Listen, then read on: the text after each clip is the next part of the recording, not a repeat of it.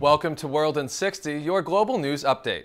At least 26 people are dead after a TransAsia Airways flight destined for Kinmen, China, crashed into a bridge on Wednesday.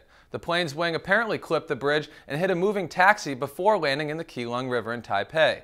The cause of the crash is under investigation. The terrorist group ISIS has released a video showing a Jordanian Air Force pilot being burned alive. This video was released just days after another that depicted the group beheading a Japanese journalist. In response, Jordan executed two militant prisoners, including one whose freedom ISIS had demanded in exchange for the pilot. And finally, the United States is preparing to destroy its largest remaining cache of chemical weapons. The Pueblo Chemical Depot in Colorado will soon begin to eradicate 780,000 shells of chemical artillery.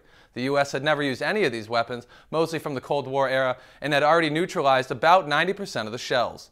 I'm Damon Turbot, and that is your world in 60.